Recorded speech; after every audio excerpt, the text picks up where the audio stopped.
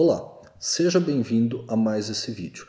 Aqui é o Sérgio Nogueira, do radiestesia.net, e nesse vídeo eu vou falar de um tema bastante interessante, que são os principais sinais que indicam que a sua energia pode estar em baixa.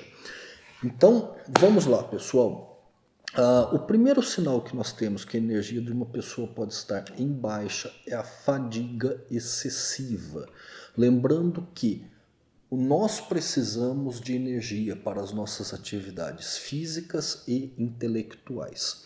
Então, se você sente muita fadiga, fadiga excessiva, uma necessidade de descanso muito grande, isto pode ser um sinal que a sua energia está em baixa, você está com pouca energia, ok? E precisa consultar um especialista para ver isto. Segundo sinal, bem característico e bem importante para se prestar atenção: fraqueza. Ah, Sérgio, mas você acabou de falar isso, fadiga. Não, não. Aqui, ó, fraqueza nas pernas, fraqueza na coluna, na parte lombar. Esses são dois sinais muito característicos que mostram que a sua energia pode estar em baixa. E isso acontece por quê? Porque quando nós temos uma vitalidade energética baixa, ok? Falta energia nos chakras inferiores, chakra básico, chakra sacral eles estão muito relacionados à nossa vitalidade física.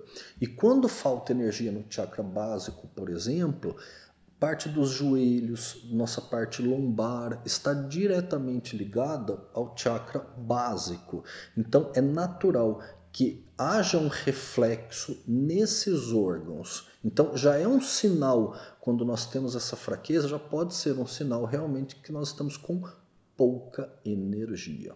Um outro fator é, bastante característico é o sono que não é reparador. Esse é o terceiro sinal que indica que a nossa energia pode estar em baixa.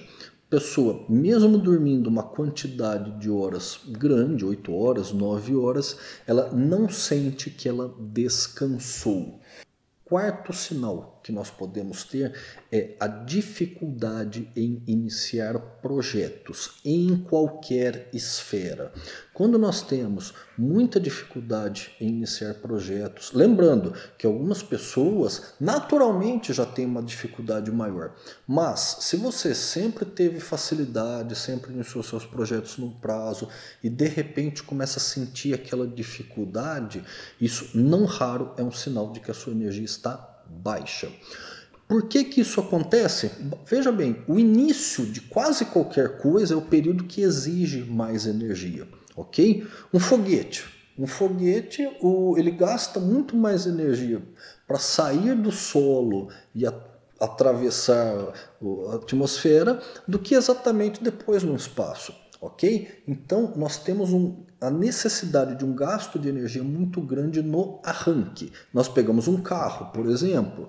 Quando você arranca com o carro é quando você gasta mais combustível. Quando você arranca em um projeto, seja um projeto pessoal, financeiro, afetivo, qualquer coisa, é onde você consome mais energia. Então, se você tem dificuldades para iniciar projetos, iniciar projetos pessoais, financeiros, este pode ser um sinal de que a sua energia está baixa. E um, um, uma, a quinta característica que eu considero muito importante, e tudo isso eu tirei através da minha experiência, através de avaliações de radiestesia e através das formações que eu tive, não só na radiestesia, mas em outras disciplinas que estão ligadas à energia humana, ok?